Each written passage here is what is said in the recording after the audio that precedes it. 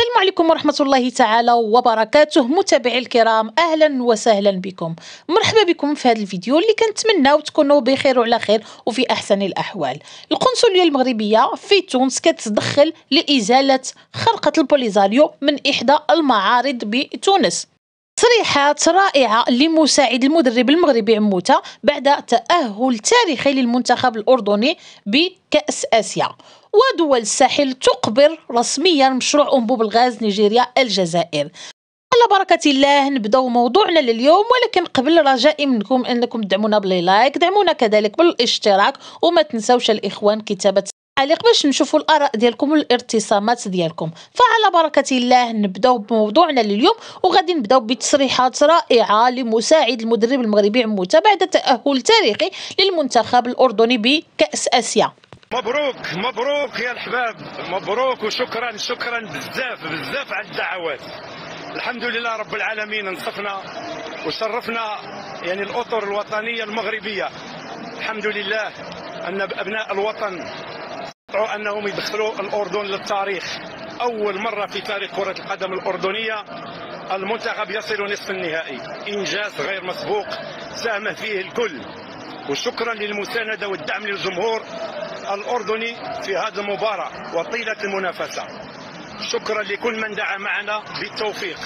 شكرا لكل من أحبنا وأحببناه. شكرا على مجهودات اللاعبين والأطقم التقنية والإدارية والطبية. أن إن شاء الله أن القصة تستمر والأفراح هنا بقطر صراحة تذكرنا بأفراح المنتخب المغربي في كأس العالم. الحمد لله أبناء المغرب يتألقون. يجتهدون يقاومون ويعطون الدروس والعبر على أن التفاني في العمل والإخلاص وحسن النوايا تعطي النتائج بتوفيق من رب العالمين. أتمنى لكم أحبابي الكرام صحة وسلامة وعافية ومزيدا من الدعوات حتى نصل للحلم إن شاء الله. كيستمر النظام العسكري الجزائري. في التدخل في الشؤون الداخلية والساحل وكتجسد تدخل هذا النظام العسكري الجزائري واللي كيتحكم فيه أو اللي كتحكم فيه المؤسسة العسكرية في تونس في السنوات الأخيرة في تشجيع قيسوس رئيس تونس على الانقلاب على المسار الديمقراطي بتونس. زج بعدد كبير من المعارضين ديالو بالسجون ودفعه إلى تبني نهج معادي للمملكة المغربية الشريفة.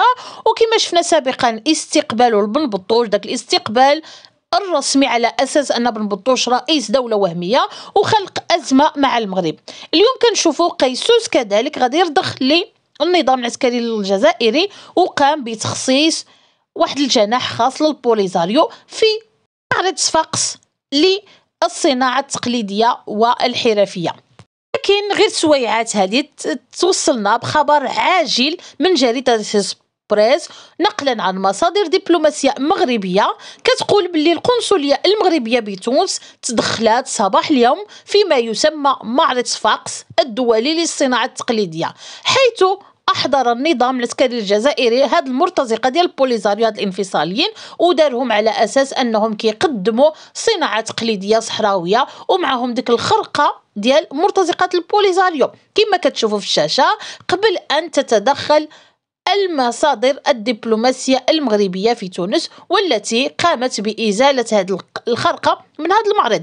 وبطبيعة الحال السلطات في تونس مازال قيسوس كيعلن العداء ديالو الواضح للمغرب وللوحدة الترابية للمملكة المغربية الشريفة. واللي كيهمنا وهذا دليل على أن الدبلوماسية المغربية راه خدامة وحتى المصالح ديال القنصلية المغربية بدولة تونس راها خدامة لأنها تدخلت على وجه السرعة ولاحت هذيك الخرقة بعيدا يعني حيدتها من هذا المعرض الدولي. النظام العسكري الجزائري دائما كيبغي يرجع راسو هو الواصي على دول الساحل. وكيبغي يطوقهم لكن ما عرفش بلي هو راه كيطوق نفسه بنفسه. ومن تداعيات عزلة الجزائر انتفاضة مالي وانتفاضة النيجر إلى ما يصدر منهم من مواقف كتمس الكرامة ديالهم كتمس السيادة ديالهم. والنتيجة اليوم أنهم تم التخلي رسميا على المشروع ديال خط أنابيب الغاز بين نيجيريا والجزائر واللي كان مخطط لنقل الغاز الطبيعي من نيجيريا إلى أوروبا عبر الجزائر. والنجر بطبيعة الحال. فبعد قرار ديال دول الساحل يعني دول الساحل الثلاثة اللي هي مالي النيجر بوركينا فاسو واللي هو انسحاب من المجموعة الاقتصادية ديال دول غرب إفريقيا. الاكواس هذا الشيء كيعني نهاية هذا المشروع واللي كان كيواجه صعوبات مستمرة وصعوبات كثيرة لعدة سنوات. فهنا يجب الإشارة أنه خلال جلسة النقاش على الأمن الطاقي في قمة إيطاليا إفريقيا جددت كذلك الجزائر وعلى اللسان ديال وزير خارجية الجزائر أحمد عطاف طلبها من الشركاء الأوروبيين من أجل دعم هذه الخطة أو هذا المشروع ديال إنجاز مشروع أنبوب الغاز نيجيريا الجزائر بهدف زيادة تدفق الغاز على أوروبا وكذلك تعزيز موقف إيطاليا إلى قطب طاقي. فرغم ذلك رغم كل هذه الإغراءات لكن إيطاليا أو في شخص جورجيا ميلوني تجاهلت هذا المقترح الفاشل من الجزائر أو من أحمد عطاف. لأنه بكل بساطة عارفين بلي هذا المشروع راه محكوم عليه بالفشل وعارفين بلي المشروع اللي غادي يرى النور هو المشروع النيجيري المغربي لأوروبا يعني مشروع الذي سيرى النور اللي مضمون 100% إشارة فإن جورجيا ميلوني في القمة ديال إيطاليا إفريقيا قالت باللي غادي يمولوا أو غادي يبنيو واحد المركز ديال التدريب على الطاقات المتجددة في المغرب.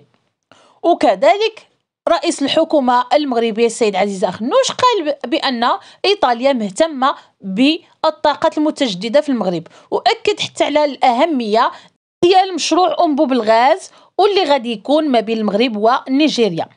اذا إخواني أخواتي هادشي كيبين باللي الدول الأوروبية وحتى إيطاليا غادي نشوفوا استثمارات ايطاليا في هذا المشروع وكذلك حتى بعض الدول الأوروبية واللي غادي تمول هذا المشروع ولكن المشروع النيجيري المغربي لأنه مضمون في المئة اللي مضمون مئة في المئة باللي داك المشروع راه غادي ينجح. المغرب راه جغرافيا وتاريخيا حلقة وصل بين إفريقيا وأوروبا والعلاقات المغربية الغربية راه كلها تبنات هذا المنطلق وأي تقارب ما بين المغرب وإيطاليا فالأهداف ديالو اقتصادية تستفد منه إفريقيا وأهل أو دول إفريقيا. فإذا إخواني أخواتي هذا هو الموضوع ديالنا. فتحية لكم كبيرة. شكرا لحسن المتابعة. شكرا كذلك للدعم ديالكم المتواصل. فما تنسوش أنكم تدعمونا ب les likes. ما تنسوش أنكم تبارطاجيو هذه القناة مع الأحباب مع الأصدقاء يعني عبر الواتساب عبر مواقع التواصل الاجتماعي. دمتم في رعاية الله وشكرا لحسن المتابعة. والسلام عليكم ورحمة الله تعالى وبركاته.